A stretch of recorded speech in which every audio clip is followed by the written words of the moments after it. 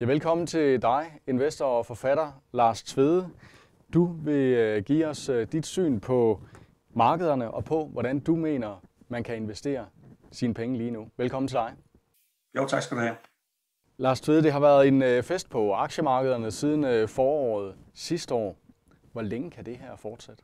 Altså, det er jo, jeg, jeg, man skal jo være dristig med at komme med sådan nogle langsigtede prognoser, men jeg tror egentlig, at det her det kører frem til, at der kommer en ejendomskrise. Og øh, mit bedste bud er, at der kommer en ejendomskrise et sted mellem 2026 og 2030. Det er jo sådan øh, med konjunkturcykler, som jo er et emne, jeg har skrevet bøger om og interesseret mig meget for. Det er jo sådan, at der er to typer af konjunkturcykler, som er vigtige. Den ene er det, man kalder kapitalinvesteringscyklen, som handler om virksomhedernes investeringer i kapitaludstyr, fabrikker og kontorer osv. Og den anden, det er ejendomsmarkedet. Så et eksempel på sådan en kapitalinvesteringscyklisk nedbrud, det var dot-com-boblen, der bræstede i, i foråret i år 2000.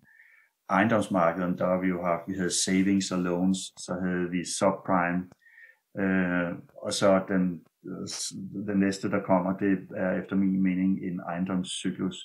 Det er sådan, at gennemsnittet for kapitalinvesteringscykler, det er cirka 10 år, 9-10 år, og gennemsnitligt for ejendomscyklerne er 18-20 år. Og det, har, øh, det er blevet undersøgt i en lang række lande, og det er blevet undersøgt over rigtig lang tid. Øh, så det, det der gennemsnit er ret robust. Men gennemsnit, det er jo ikke en prognose. Det vil sige, der er jo så lokale afvielser for det her. Øh, men det ville passe godt, øh, i og med at vi kom ud af, eller vi kom ind i en stor ejendomskrise i 2008-2009. Ja, hvis vi så lægger 20 år til, så er det 2028, 2029. Hvis vi lægger 18 år til, så er det 2026, 27 eller sådan noget. Øh, eller det er det, det, det, det er. Øh, så øh, det er sådan, hvad statistikkerne indikerer, at det sker der. Og når der er en, så ved anden kapitalinvesteringskrise trækker ikke ejendommene ned Øh, det giver bare sådan en lille kortvarig pause i ejendommenes stigninger. Øh, men de andre hver anden, øh, der, der ryger ejendommene med ned. Det er faktisk ejendommene, som, som sætter kapitalinvesteringskollapset i gang. Og hver gang der er en krise i ejendomsmarkedet, så er der også en finanskrise. Og det vil sige krise for bankerne også, så det skal man også lige holde sig for øje. Så øh, hvis vi så går væk fra, hvad statistikkerne siger om konjunkturcykler, og så kigger på, ser det ellers ud som om, at det kan lade sig gøre for ejendommene at stige øh, faktisk måske fem år mere, øh, jamen så vil jeg jo sige, at vi har cheap money, øh, billige penge på den måde, at renterne er meget lave. Mange steder er renterne negative, men specielt at realrenterne er meget lave. Det vil sige, at renterne er lavere end inflationen. Og det tilskynder jo folk i enorm grad til at lade være med at have penge stående på en bankkonto, og heller ikke på øh, kortsigtede statsobligationer for, for eksempel, men i stedet for at sætte dem ind i enten ejendomme eller aktier, eller begge dele. Øhm, så det miljø, det, det, det er noget, som er enormt befordrende for ejendomspriserne. Øh, og så kan man sige, jamen hvad hvis de allerede er så overvurderet, at det ligesom kollapser, fordi der er ikke nogen, der tør købe dem mere. Øhm, og det er, der er jo nogle steder, hvor de virker meget overvurderet, men det er lommer. Sådan, sådan generelt hvis man kigger på øh, ejendomsinvestorers situation, så er på grund af de lave renter, så føles ejendommene ikke særlig dyre. Så der er altså plads til, at de kan blive en del dyre. Så, og det gør, at man godt kan se for sig, i hvert fald øh, sådan noget som fem år yderligere stigninger. Så det bringer mig tilbage til svaret på de spørgsmål, som halvdelen sikkert har glemt, hvad er allerede, men det er altså, hvor længe kan festen her vare. Og jeg mener, den, der er i hvert fald en mulighed for, at den varer til sådan 5-7 år mere agtig. Der er ikke noget umiddelbart, øh, som jeg kan få øje på, som hvor øh, advarselslamper blinker om en stor krise lige om hjørnet. Slet ikke. Og hvad er det så for øh, afkast størrelsesmæssigt, man kan forvente i sådan en periode op til, at festen slutter? Altså øh, fem år på den her måde, så, de, hvis, så tror jeg, at de bedste dele af markedet, altså, og, og du skal ikke tale, udtale mig om individuelle aktier, for der vil jo ske alt muligt mellem himmel og jord i individuelle aktier, men de bedste dele af markedet kunne jeg godt se en fordobling over de fem år. Når festen så slutter, er det så med, altså på aktiemarkedet, på grund af den her ejendomskrise, øh, der du mener, der kommer, er det så med et raballer, øh, at øh, den her øh, fest slutter? Ja, det tror jeg, jeg tror, det bliver en af de store. Altså det er som savings and loans-krisen og subprime-krisen, en stor en. Og det der er jo specielt, det er, fordi ejendommen udgør en meget stor del af, af formuen i, sam, i et hvert samfund. Og ejendommen er belåntet. Og lidt afhængig fra samfund til samfund, men måske 70% belåntet. Så når hvis ejendomspriserne falder for eksempel 30%, øh, så i mange lande, så betyder det, at den gennemsnitlige ejendomsejer har ikke længere nogen friværdi. Men i praksis er der jo så en hel masse, så er der jo nogen, der har friværdi, men der er også en hel masse, som har negativ friværdi. Øh, og, men de nedskrivninger, som finansieringsinstitutter skal gøre, det gør så, at de har ikke umiddelbart mulighed for at låne penge ud til andre end ejendomsinvestorer. Og det vil sige virksomheder og private forbrugere osv., de har bare ikke adgang til likviditet længere. Og så breder det sig altså fra ejendommene til finansmarkedet og så til hele økonomien. Øh, og så er det klart, så øh, finansministerne skal jo så øh, køre med underskud for at stimulere økonomien, og nationalbankdirektørerne skal have renten helt i bund og opkøbe værdipapirer og sådan noget. Øh, men man kan ikke, når det først den, den her dynamik starter, så kan man afbøde det noget, men man kan ikke stoppe det. Så det, altså, jeg tror, det bliver et stort brag, men også pænt langt væk fra, hvor vi er nu. Din strategi er blandt andet at øh, se efter investeringstemaer. Kan du prøve at fortælle os, øh, hvad du kigger efter lige nu? Ja, altså lige, altså lige sådan for at sætte scenen for, hvordan jeg tænker, så jeg har jo lavet det, man kalder makroinvestor i ja, godt 30 år. Og makroinvestorer, de kigger på de store brede temaer, og så bruger nogle finansielle instrumenter som ETF og futures, valuta swaps og sådan nogle ting, til at have sådan en bred eksponering, så jeg ikke stockpicker i, i, i det, jeg gør i de likvide markeder. Øh, og min erfaring er, øh, at den type temaer, som jeg normalt får øje på, de varer gennemsnitligt cirka 6 år. Altså, vi kan, hvis vi går tilbage til 90'erne, så var der 90'erne, det var tech. Man skulle være i teknologiaktier, og bare, bare havde en masse af dem, øh, så kunne næsten ikke gå, gå galt. Før øh, var det marts øh, 2000, hvor det hele så knækkede totalt sammen. Øh, og så derefter så skulle man være i råvarer og i emerging markets. Øh, og det varede sådan 6-8 år, så knækkede det hele sammen på grund af subprime-krisen. Øh, og så da vi kom ud af subprime-krisen, jamen der skulle man simpelthen bare være, altså helt generelt skulle man bare være belånt og investeret. Øh, og hvis jeg går længere tilbage end, end før 90'erne, så har der været Nifty 50, og der har været sådan en hel masse forskellige temaer flere hundrede år tilbage. De, de var sådan typisk opsvingsfasen af konjunkturcyklen. Fordi hvis en konjunkturcyklus øh, gennemsnitligt var i 10 år, jamen så betyder det, at man er kommet ned, det hele er blevet smadret, så ligger det sådan og sidder lidt rundt, og så begynder det at køre opad med en eller anden tema, som er førende, og så kører det opad i 6, 7, 8 år, øh, og så kommer det op til en topformation, og så skvatter det hele sammen. Så man har de der 6, måske 8 år eller 7 år, hvor nogle temaer holder. Så det er min tidshorisont.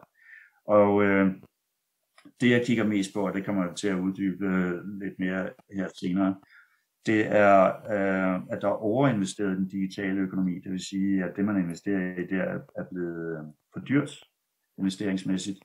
Øhm, og at der er underinvesteret i den fysiske økonomi. Det vil sige, at der mangler alle mulige fysiske ting her nu. Øh, naturgas og olie og metaller og andre fysiske ting er, er der simpelthen ikke nok af. Hvad minder det der om? Ja, det minder mig om tiden omkring 2000-2001, øh, hvor vi netop havde, der havde vi haft det store dot-com crash. Så nu, lige nu har vi jo ikke haft et crash, et, et krak i teknologiaktierne, men alt andet minder mig om situationen der, øh, at vi havde, vi havde haft Øh, dengang var der blevet investeret alt for lidt i den fysiske økonomi, og det havde sådan en kæmpe catch-up, der skulle laves. Og derfra øh, ja, der stiftede jeg firmaet Beluga, fordi jeg var fuldstændig forgabt i Rusland som investeringsmulighed. Øh, så jeg tænkte, det skulle hedde Kaviar eller Beluga eller sådan noget. Det blev så Beluga. Men det russiske aktiemarked steg cirka 1000 procent på 6 år øh, derfra. Og øh, indeks af industrimetaller steg 450 procent. Så det er en situation, som minder meget om det, som vi har nu. Så er der noget andet, øh, og det er, at, øh, at markedet er blevet, markederne er blevet trukket fuldstændig overvejende ganske, ganske få megacap teknologiaktier. Og hvis man kigger på bredere aktieindeks, jamen så er der virkelig, virkelig mange aktier, som overhovedet ikke er kommet frem af øh, i år. Øhm, og øh, small caps er blevet meget billige i forhold til, hvad de normalt er, i forhold til de der mega caps og, og large caps. Øh, og så værdiaktier er blevet sådan historisk billige i forhold til vækstaktier. Og alt det der, det havde vi også dengang i 2000-2001. Plus i 2000-2001, jamen der havde vi sådan syv år, øh, syv otte år til det næste ejendomskrak, hvilket jeg tror er sådan nogenlunde jo noget i den størrelsesorden, vi også har her. Så øh, play it again, Sam. Ja. uh, øh, jeg håber, jeg har ret, fordi det gik virkelig godt med mine investeringer dengang. Uh, jeg så det samme, og dengang øh, var der jo, altså alle mennesker, de blev bare ved med at investere i tech, og nu har de tjent så mange penge på tech i 90'erne, og nu skal man gøre det igen, og Øh, og der var ikke rigtig nogen, der var opmærksom på Rusland og, og emerging market valuta. Jeg købte jo argentinske pesos og sådan nogle ting.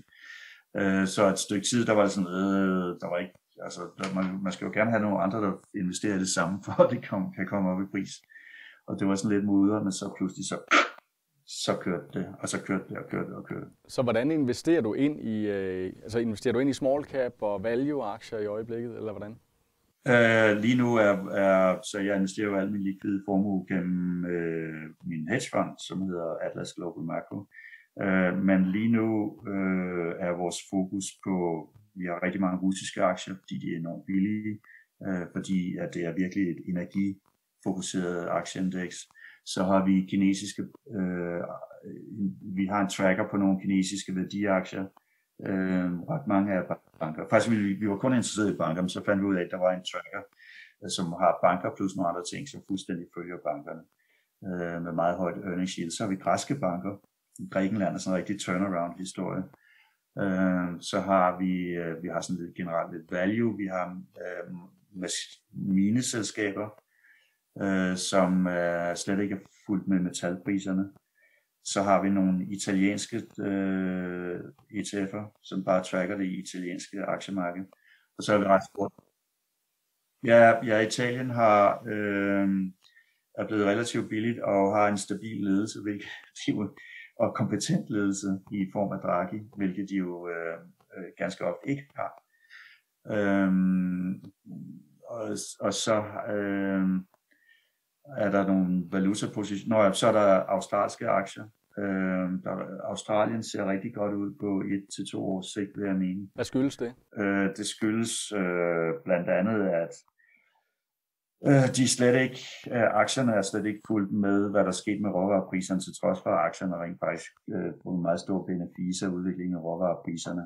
Og der har været lidt, der har været lidt øh, handelskrig med, med Kina, som formodentlig vil fortage sig igen, og det, det har sådan givet lidt dårlig stemning omkring de aktier, men, men, øh, men øh, der er også sket noget andet, det er, at, at Australien meget ofte har kørt med betalingsbalanceunderskud, men nu har de betalingsbalanceoverskud, øh, blandt andet fordi det der, det, der hedder the basic balance, som både, eller det fik jeg sagt forkert, men det, det, the basic balance, som både betalingsbalancen og så balancen i direkte investeringer i virksomheder, den er gået helt markant til Australiens favør. Og det vil sige, at det ser ret godt ud på sigt, både for valutaen og for aktierne. Så den investering, eller den fokus har vi også. Og det var sådan lige en øh, indledende snak. Du, øh, du har også et, et oplæg, du vil, hvor du vil fortælle os om øh, dit syn på markederne. Og det er du velkommen til at, at, at fortælle os nu. Jamen, det vil jeg da gøre, så, jeg vil da, så vil jeg lige hoppe ind i øh, screen sharing. Okay, så den første graf, jeg har her, den viser cap, CAPEX, det er altså Capital Investments i den nye økonomi, som er den digitale økonomi, og det er den sorte graf, og så i øh, commodity sectors, det er altså den fysiske økonomi, råvaresektoren, det er den blå graf. Og der kan vi så se, uh, hvis vi uh, går tilbage til omkring år 2000, der kan vi se, at uh, der var investeret rigtig meget i tech. Det var jo der omkring dot-com-boblen. Og der var investeret rigtig lidt i den fysiske økonomi. Det, der skete dengang, det var øh, hele BRIC-fænomenet, altså Brasil, Russia, India, China. Øh, det krævede enormt store kapitalinvesteringer og, og, og lave ejendomme og udbygge industrien i de lande, specielt i Kina. Uh, og det var Jim O'Neill fra Goldman Sachs, som især markedsførte den tanke, at det her det var et meget stort skift. Uh, og, og jeg, jeg uh, læser et hav af analyser om det, at kunne se, at priserne på de her nye markeder, specielt Rusland, og også priserne på råvarer, var helt forkerte i forhold til det, der skulle ske.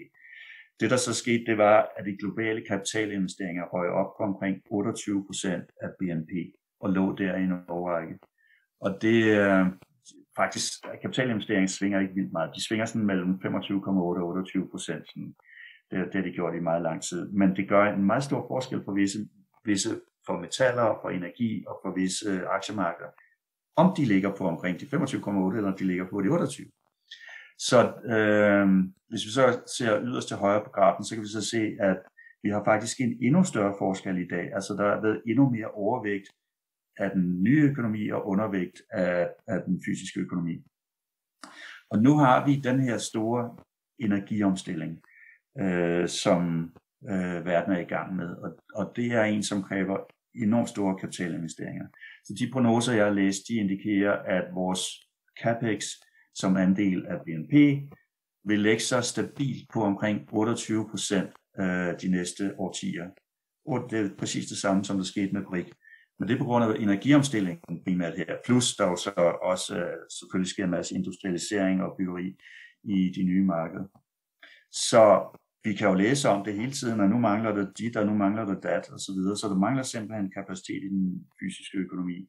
Det mest presserende lige nu, som folk måske mærker, det er, at der mangler naturgas i Europa, ikke? så priserne er steget helt vildt.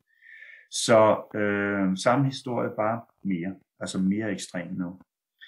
Øh, den næste graf, øh, jeg gerne vil vise, den er den vedrører så øh, den energiomstilling, som øh, forventes.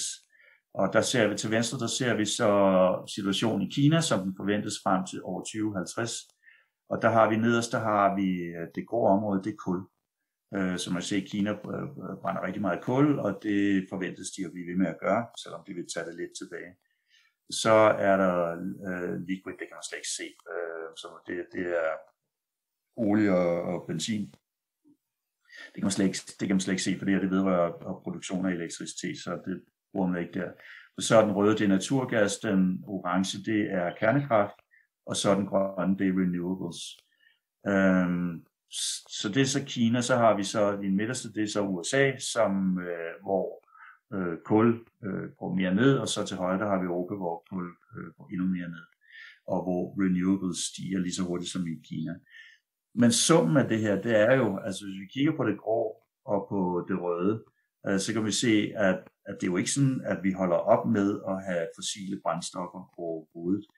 Øhm, og det er jo, der findes nogle teknologier, øh, som man arbejder på, som altså de eksisterer allerede, men man arbejder på at gøre dem billigere til carbon capture. Og det vil sige, når man har sådan et øh, forbrændingsanlæg, øh, som udskiller CO2, ja, så kan man opfange øh, øh kulstoffet, og så enten sequester det, som man siger, det, altså få det væk ned i jorden, eller også bruge det til industrielle produkter til at blande i cement og forskellige andre ting. Så hvis det der det bliver billigt nok, så er der sådan set ikke nogen specielt argument for, at vi overhovedet skal øh, reducere øh, forbruget af fossilt brændstof. Men under omstændigheder, det som ligesom er læren for det, det er, at øh, der bliver ikke investeret i det her civil, øh, fossile brændstof, eller der bliver investeret ekstremt lidt, fordi der er sådan en enormt stor pres på, at man ikke skal gøre det. Og det vil sige, at øh, det bliver så reguleret over prisen. Priserne, priserne går meget højere op. Et eksempel på det, det er så her i den næste graf, hvor vi ser oil prices, rig count. Øh, så oil prices, olieprisen, det er så den blå graf. Og, der kan vi, og så den stiplede røde linje, det er olieboretårne i hele verden, som er aktive. Altså, fordi mange af dem, de bliver så bare øh, slået fra, når priserne er for lave. Og de, priserne og aktiviteten med olieboretårne øh, følger normalt hinanden ekstremt tæt. Men det, det vi kan se nu, det er, det gør det ikke nu. Og det gør det ikke, fordi at der er så stort pres på, at man ikke skal gøre det. Og det vil sige, at øh, der er altså der er en der mangler udbud her i forhold til, hvad efterspørgselen er.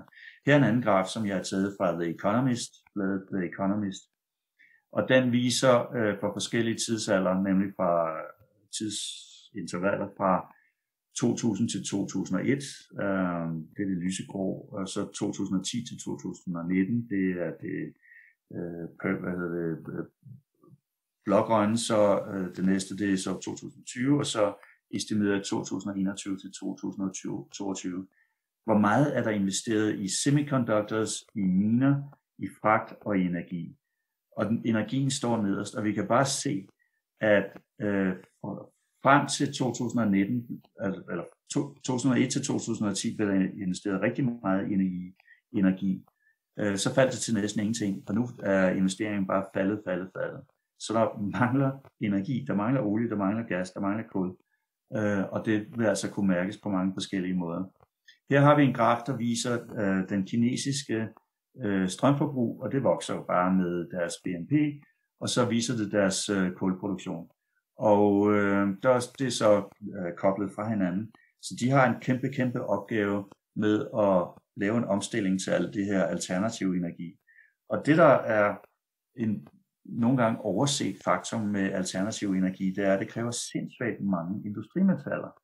Så en vindmølle kræver måske 10 gange så mange, og du kan ikke lige tallene på fingeren, men måske 10 gange så mange industrimetaller per energienhed, som hvis man bruger et naturgasanlæg til at fremstille den samme energi. Så ja, man møder jo folk, som er meget imod minedrift, og, og meget store tilhængere af den grønne omstilling, så må man bare, bare sige, altså vi skal lige være klar over, at vi skal have langt mere minedrift, hvis vi skal gennemføre en ambitiøs grøn omstilling. Øhm, her til højre, der ser vi lige, det er sådan lidt relevant for det, jeg nævnte med Australien, der ser vi at Kinas import af kul fra Indonesien og Australien. Så fordi Australien har, har bedt om en undersøgelse, eller rekvireret en undersøgelse for øh, årsagen til covid-udbruddet i Kina, så er kineserne blevet sure, så de importerer ikke mere kul fra Australien, men så importerer de det bare fra Indonesien i stedet for. Nå, her har vi en graf, som viser øh, en anden del af den problemstilling, det squeeze, der er på verdens øh, energiproduktion. Det er den tyske kernekraftproduktion, og den er jo, øh, Merkel hun gik jo i gang med at lukke det her ned. Øh, og det har altså nogle, nogle, nogle økonomiske konsekvenser den graf, jeg har her til højre, den, er, den rummer nogle tal, som er lidt svære at beregne, så, så folk er sådan lidt uenige i, hvad, hvad der er de rigtige, øh, øh, præcis de rigtige beregninger. Men den viser, hvor meget øh, energi kommer der ud af en energiform i forhold til, hvor meget man skal putte ind i den. For eksempel, hvis man skal lave en, en, en øh, solpanel, så kræver det jo noget, noget energi at udvinde de råstoffer, man skal bruge og raffinere dem og sætte det op og køre ud med det og servicere det osv. Så i den her øh, øh, beregning, som kommer fra sådan et videnskabeligt studie, der viste at kernekraft gav cirka 75 gange så meget energi ud, som man skal putte ind. Øh, vandkraft øh, 35 gange, kul omkring 30 gange.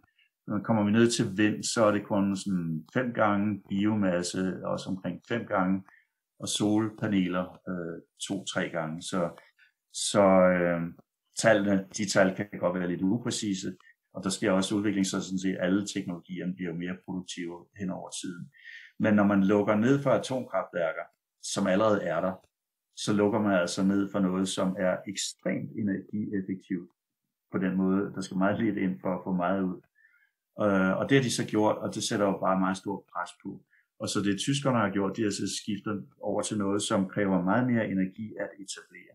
Og det vil sige, at selve energiomstillingen faktisk på nogle områder forøger energiforbruget i verden.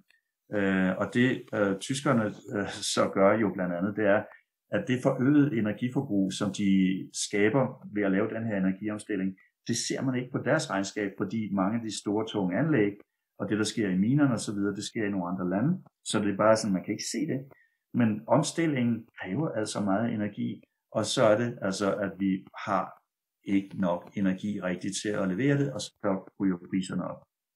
Så er der nogen, og nu skifter jeg til et andet tema, selvom de selvfølgelig alle sammen er relateret, øh, men der, der, der er en del mennesker, som snakker om, at vi er på vej ind i 70'erne. Og Det vil sige, at vi er på vej ind i, i noget, hvor vi har stagflation, høj inflation, men samtidig økonomisk lav vækst. Altså økonomisk stagnation og høj inflation. Så her har vi lavet en graf, øh, hvor, eller vi har fundet en, en graf, som øh, viser øh, forecast for bruttonationalprodukt for en række lande i år i 22, og så også samtidig for, øh, forecast for deres inflation. Øh, og så er vi indtegnet, øh, eller der er indtegnet stagflationszone. Så hvis vi definerer stagflation som, øh, at væksten er mellem 0 og 1 procent, og inflationen er mellem 3 og 7 procent, det er så det markerede område der til venstre. Der er altså ingen af landene, som øh, forventes at ligge i nærheden af stagflation øh, efter de her konsensusprognoser. Øh, og det tror jeg simpelthen ikke, det er ikke, det er ikke der, vi er på vej hen. Øh, vi, tværtimod, vi har sådan øh, meget, meget høj økonomisk vækst, øh, og øh, nu er der så øh, kommet sådan øh, ret alarmerende inflation henover os, men rigtig meget af den inflation er forbigående til øh, fænomener. Og der er for eksempel økonomiske, matematiske økonomiske modeller, som fortæller os, at i USA ligger inflationen til juni næste år, måske kun på en halv procent, så vil den så komme op igen. Men altså, det, øh, det er i hvert fald ikke vores øh, kernescenarie.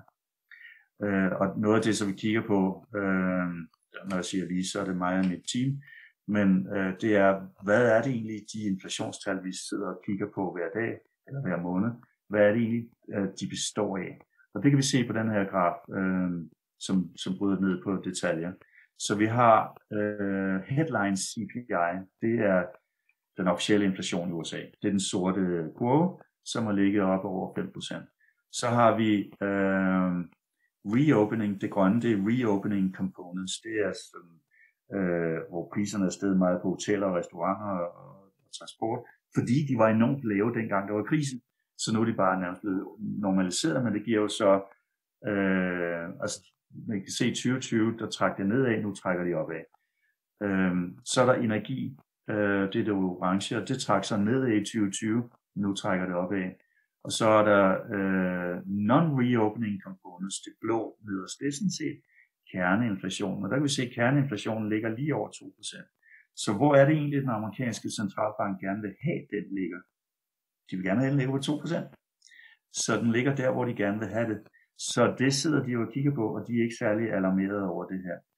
Øh, og så og det man kan sige, det er, at det orange og det grønne, sandsynligvis meget af det, det begynder at trække den anden vej igen. For eksempel noget af det, der har trukket inflationen meget op, det var, at brugtbilpriserne skød helt i vejret, fordi der manglede chips. Men nu kommer der chips, og så falder de, falder de tilbage, og det vil sige, at den del af det grønne, som var brugtbilpriser, den vil trække nedad i stedet for at trække opad. Så på den måde, så ser det ud som om, det er noget forbigående noget, det meste af det. Og her har jeg det øh, to, en graf, som øverst viser netop, netop to af de her midlertidige øh, årsager. Den blå graf, den viser øh, brugtbilspriserne, som steg. På et tidspunkt var det næsten 60% højere end året før. Øhm, og det er, jo, altså, det er jo helt uholdbart, så man kunne købe et, et år gammel brugtbilspriser. Øh, de kostede det samme som spritnye biler med spritnye garanti og så videre. Det, det holder jo ikke ved, og det er også ved at gå tilbage. Øh, og det samme med DRAMs, altså computer øh, øh, hukommelseschips, der er det samme øh, ved at ske. Og så øh, nedenom, der har vi en graf, som viser den blå del af grafen, det, det er backlog of orders. Det vil sige, at øh, ordre, som er blevet afgivet til producenter, men, men ikke er blevet leveret endnu. Og øh, det var meget højt, men, og det giver inflation, fordi så, så byder, overbyder man hinanden. Men det ser ud som om, det er toppet. Og så har vi customers inventories, altså hvor, hvor store lagerbeholdningerne er. De var meget lave, men de ser også ud som om, de er bundet. Så det, det tegner også på, at, at meget af det her, det er midlertidigt. Så øh, noget andet, man skal tænke på, når man sammenligner med 70'erne, det er, øh, hvordan økonomien er sammensat, for der er altså sket nogle meget store strukturelle forandringer i økonomien. Så det her, det vi ser på den graf her, det er den blå, den blå graf, det er øh, industriproduktion som andel af bruttonationalprodukt. Øh, det er faktisk også håndværk, men øh, det, det, det er ligegyldigt for det her formål. Og det kan, det kan man se, at det er faldet fra omkring 25 procent af verdens økonomi til omkring 11 procent. Øhm, så industriproduktion fylder meget mere. Vi er simpelthen kommet meget mere over i en, i en serviceøkonomi. Og den, den stiplede røde linje, det er så energiproduktion, og der, der kan vi se, at den er faldet fra omkring 14 til 5 procent. Så øh, de her flaskehalse, der er i den fysiske økonomi, som er en spændende investeringsmulighed, øh, de har ikke nær så stor betydning for den strukturelle inflation, som de havde i 70'erne. Simpelthen fordi at en stor, større del af økonomien er upåvirket af dem. Altså services er upåvirket af dem. Øh, og så kan vi kigge på den næste graf her, som viser øhm, øh, oliepriserne og så øh, renten i USA. Så det blå er oliepriserne, og det er sådan en langsigtet graf, går tilbage fra 1970. Og vi kan se, at øh, og, og nederst der ser vi så øh, det inflationskorrigerede bruttonationalprodukt. Og vi kan bare se så i 74 i olieprisen, der 74-75, så stiger olieprisen, og så hæver Nationalbanken renten. Og i dag, der siger stort set alle økonomer, siger, at det skulle de ikke have gjort. Det var en fejl, fordi det var et forbigående fænomen og de sendte bare økonomien i bund, som man kan se. Så næste gang øh, man havde stor stigning i olieprisen, der var så også renten ret høj. Men her der har vi så stigning af olieprisen, og renten er lav, og det vil sige, sandsynligheden for, at det skal ramme bruttonationalprodukt, er altså øh, ret begrænset. Så øh, noget, som også øh, i sig selv kan være deflationært, det er, at øh, der var jo under under hele det her lockdown-scenarie, der, der havde øh, alle, stort set alle økonomier, de gav så øh, penge til dem, som, som ikke kunne gå på arbejde, fordi deres arbejdspladser var lukket ned, f.eks. restauranter.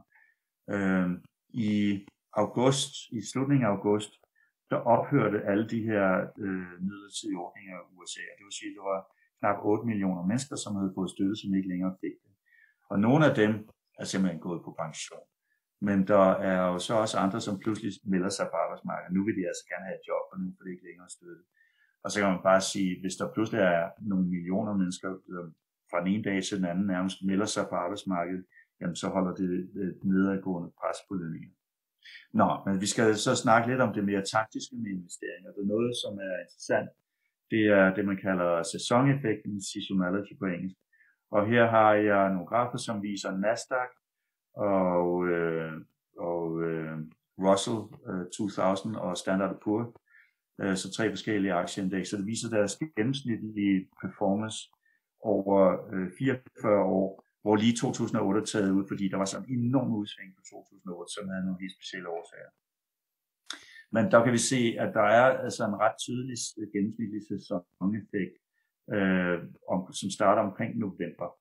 Og det, og det er øh, november at den måned om året, hvor der er øh, hvor der er næststørst indstrømning i investeringsfonde.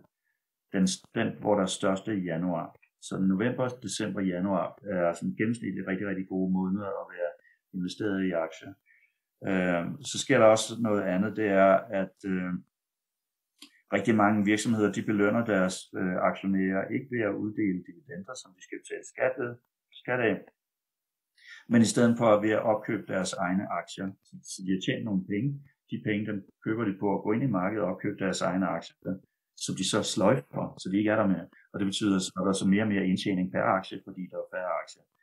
Øhm, men det, det kræver, at de afleverer, afleverer et regnskab. Så de afleverer deres regnskab for tredje kvartal, og så når det er ude, så øh, begynder de at opkøbe deres aktier, og det sker så også i november og december typisk. Så der er sådan noget seasonality her, som er ret interessant at holde øje med.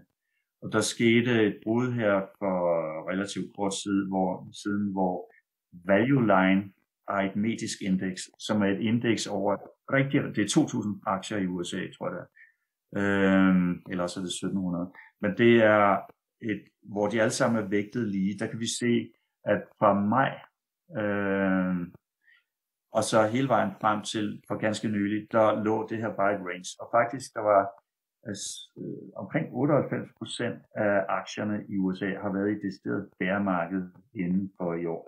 Øh, og det, og det hænger jo så sammen med det, jeg sagde, det er kun de der meget, meget store tech-aktier, som i virkeligheden har gjort, at de store indeks er, er kommet op.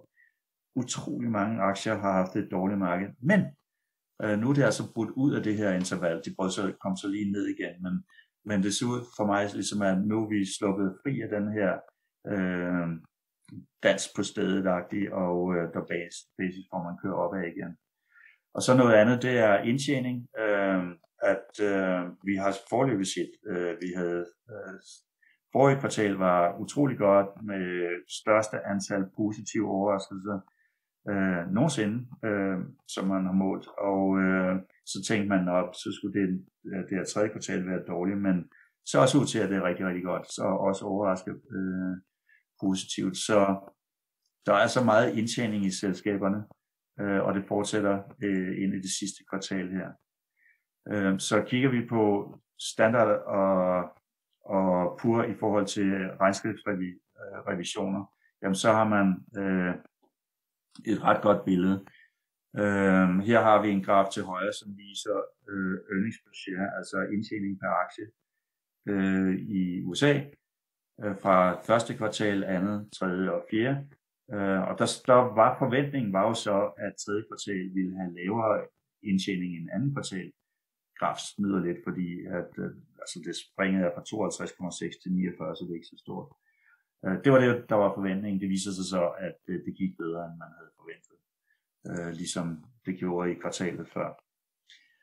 Så lad os gå tilbage og kigge lidt på øh, råvarerne, øh, fordi man, man kan jo så igen sådan med 70'er briller tænke, er det ikke dårligt for indtjeningen, hvis råvarepriserne stiger? Øh, for eksempel olie- og gaspriserne og priserne på kår og så videre stiger, fordi så har virksomhederne større omkostninger.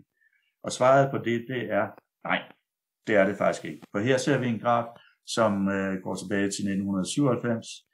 Øh, den er fra JP Morgan, og den viser råvarerne, og så viser den øh, øh, performance for øh, aktierne, og man kan bare se, at de rent faktisk korrelerer på en positiv måde, så de følger hinanden. Øh, og, og her har vi en anden graf, som fortæller en, en noget tilsvarende historie. Den er så fokuseret kun på oliepriserne, der kan man også se stigende oliepriser følger meget ofte ved stigende profitter i, branchen, i brancherne. Så øh, lad os lige kigge lidt på den her tabel, som viser, øh, hvor meget der, den er så nogle dage i gang nu, men øh, hvor mange øh, af selskaberne i USA, der har rapporteret 17% på det tidspunkt, og øh, deres gennemsnitlige earnings growth var 40%, og 12% af dem øh, havde, havde netto øh, øh, overrasket. Øh, 86 procent havde overgået deres forventede resultater. Øh, den næste her springer jeg over. Så her har vi en graf, som viser Rusland, og her øh, er der noget, som jeg selv synes er virkelig interessant. Øh, så forventningsindtjeningerne til det russiske aktiemarked er blevet opjusteret 50 procent i løbet af i år. Kurserne er steget øh, 34,84 procent, og det vil sige, selvom de russiske aktier er steget meget, så er de i forhold til, hvor meget de tjener, så er de faktisk blevet billigere. Øh, så de var, for et halvt år siden så de billige ud, nu er de steget en del, nu ser de endnu billigere ud. Så her er nogle tal, hvor vi har øh, 12 months forward price earnings, det er altså, hvor meget man tror, altså den nuværende aktiekurser, hvordan ligger de i forhold til, hvad man tror, de vil tjene de næste 12 måneder. Og der havde vi øh, i starten af 2021, der var det 8,39. Øh, så den sidste opgørelse, jeg lige har trukket ind, det er den 22. i 10. Der var det faldet til lige under 7. Så det er jo øh, en god historie, men det er også nogle rigtig gode tal. Og her har vi så Rusland, øh, værdisætningen af Rusland i forhold til alle emerging markets og det ligger her som det næstbilligste efter Tyrkiet i den her sammenligning, øh, hvor det er, øh, øh, hvis man tager i forhold, med specifikt i forhold til emerging markets, så er det 43 procent øh, undervurderet.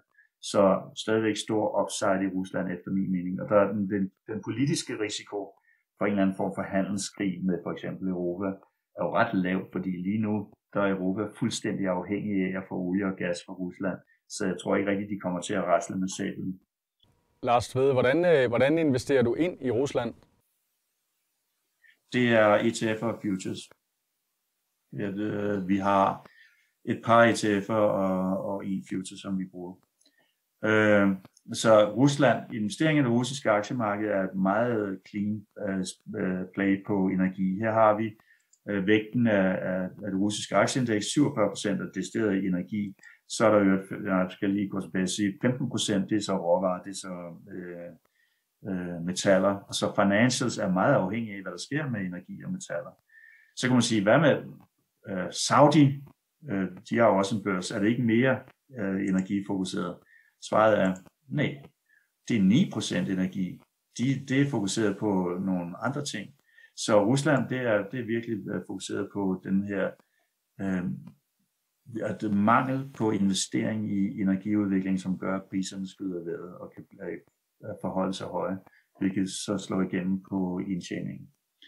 Øh, og her til højre, der har jeg sådan en tabel, som sammenligner øh, en række forskellige markeder med, hvor, hvor meget de korrelerer til energipriserne. Og der ligger Rusland altså rigtig, rigtig højt.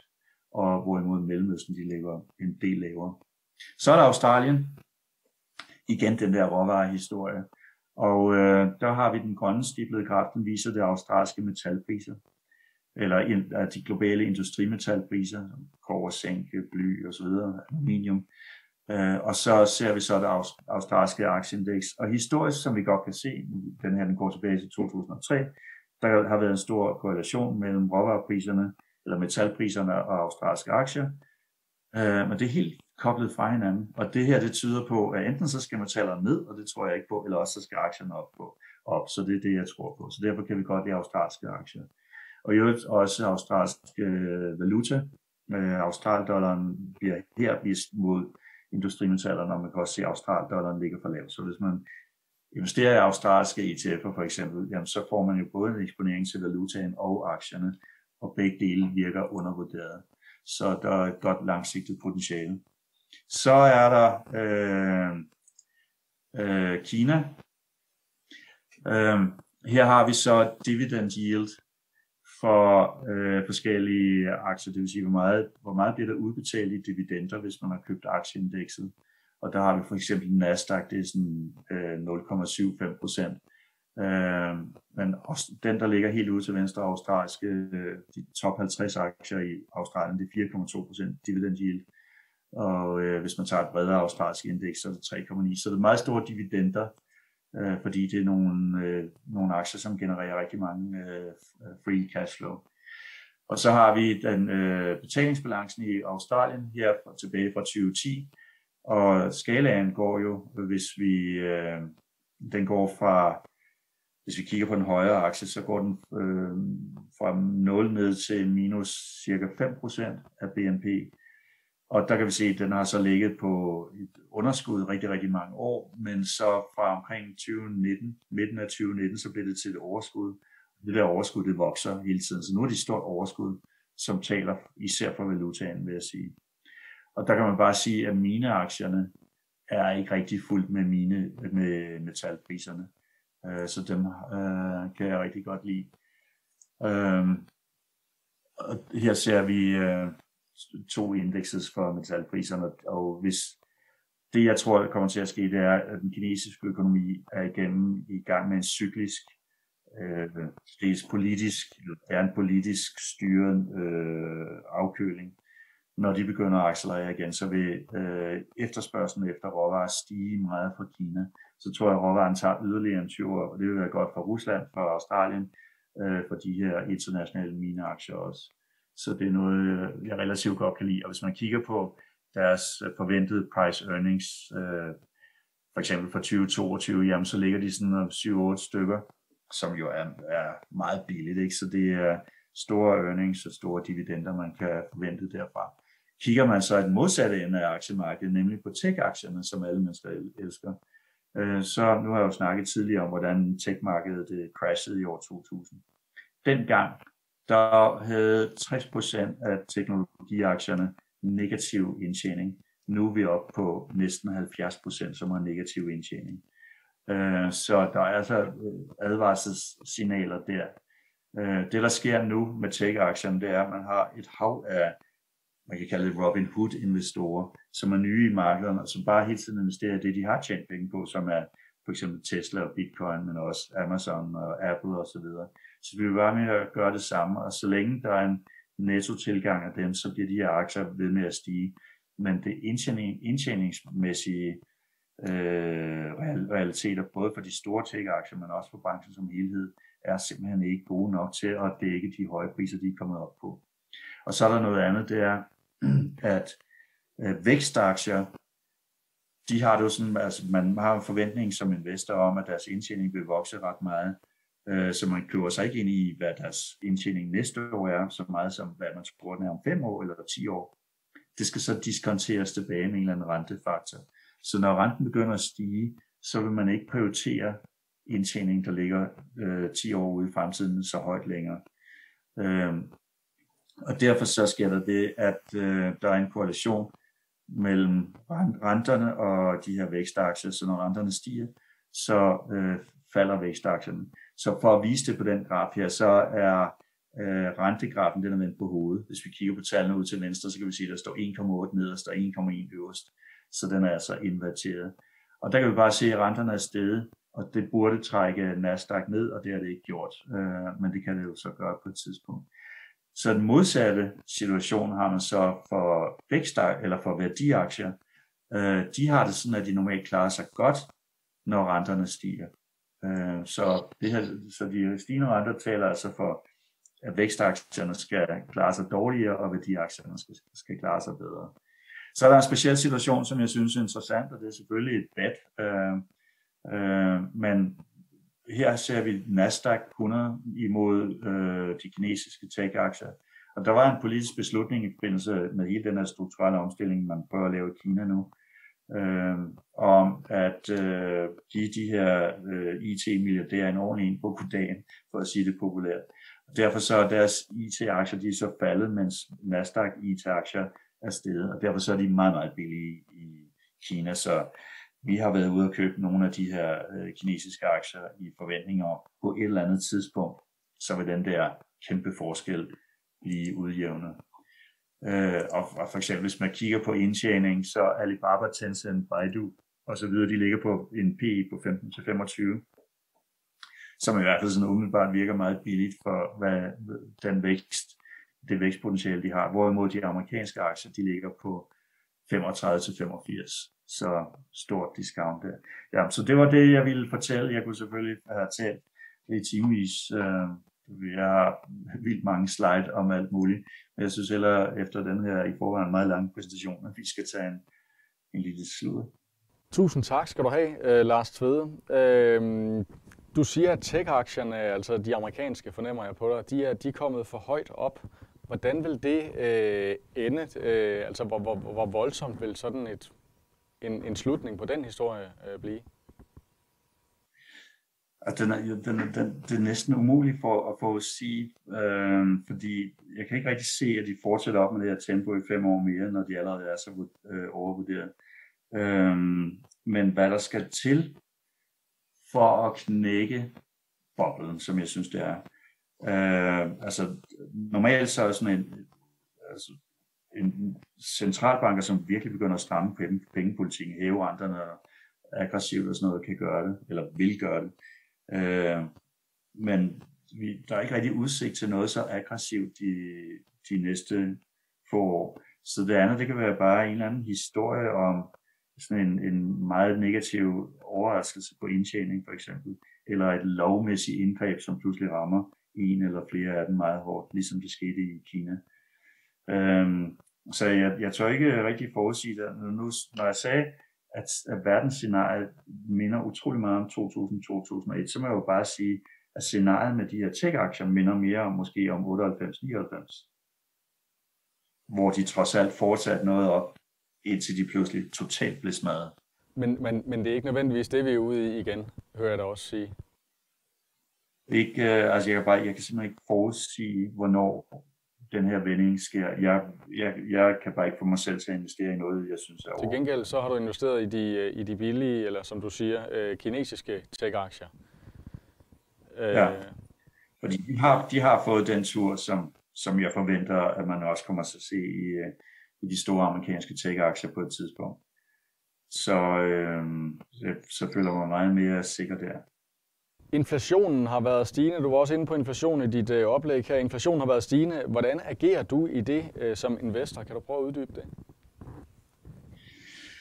Jamen, det er der mange, der har spurgt om, øh, fordi der er mange, der er bekymrede over det her med inflation. Så nu har jeg jo allerede lige sagt, at jeg, jeg er i den lejr, som mener, det er overvejende forbi, forbigående. Jeg vil lige sige, der er, at det er øh, nogenlunde konsensus blandt de store professionelle øh, investorer. Men der er undtagelser, for eksempel ISI Evercore, øh, heller nok, som er meget kompetente, heller til, at det er måske ikke så for forbigående. Øh, men det jeg tænker på, det er, øh, hvis, nu, hvis nu det ikke er for, for forbigående, øh, hvad vil det så ske på det, jeg rent faktisk har investeret i, nemlig mine aktier og olie, hvad hedder det, russiske aktier og, og banker osv. Øh, jamen, de vil klare sig godt, når der er inflation. De vil også klare sig godt, når der ikke er inflation. Så, så øh, jeg, jeg prøver at lægge mig der, hvor, hvor øh, jeg ikke rigtig har nogen risiko i det. Hvor vurderer du, inflationen er om 12 måneder? Jeg tror på, at der, der er jo i inflation, der er jo sådan en form for baseline-effekt. Øh, øh, så øh, fordi man har alle de her midlertidige faktorer, som jeg viste øh, lige nu, øh, og har haft de sidste måneder, så tror jeg, at øh, jeg nævnte det faktisk allerede, at, at, vi, at en af de modeller, vi kigger på, den viser, at USA, der ryger headline-inflation helt ned på en halv procent. Øh, jeg, jeg vil ikke øh, være alt for specifik. Jeg tror, den ryger rigtig langt ned, og så trækker op af igen mod 2-3 procent eller sådan noget. Vi har en øh, læser, der har spurgt, øh, efter en gylden periode for grønne aktier, er de faldet meget tilbage i år. Mit spørgsmål er derfor, om det er nu, vi skal gå ind i grønne aktier eller fonde, og det er vores øh, medlem John Kyd, der spørger om det. Det synes jeg, man kan gøre af ideologiske årsager, men øh, hvis man skal investere ud fra øh, et indtjeningsmæssigt synspunkt, øh, så jeg kan jo ikke bruge de samme penge to gange. Øh, så jeg prioriterer de her øh, værdiaktier, og så hele den fysiske økonomi, som i øvrigt i vid udstrækning jo også er den grønne økonomi. Altså, som jeg nævnte, så har vi brug for væsentligt mere investering i metaller øh, for overhovedet at kunne levere på alle de her drømme om vindmøller og solpaneler. Øhm, og, og der føler jeg mig sådan relativt sikker, fordi der er simpelthen ikke, der, der er ikke investeret nok i det. Øh, så, så øh, når Kina, øh, det vil sige, den grønne omstilling trækker faktisk fem, det, stigningen af brug af metaller til den øh, grønne omstilling er cirka 25 procent om året. Det er sådan deromkring. Øh, men det, det fylder ikke så meget nu. Øh, det, der fylder meget, det, det er, hvad der sker i Kina generelt.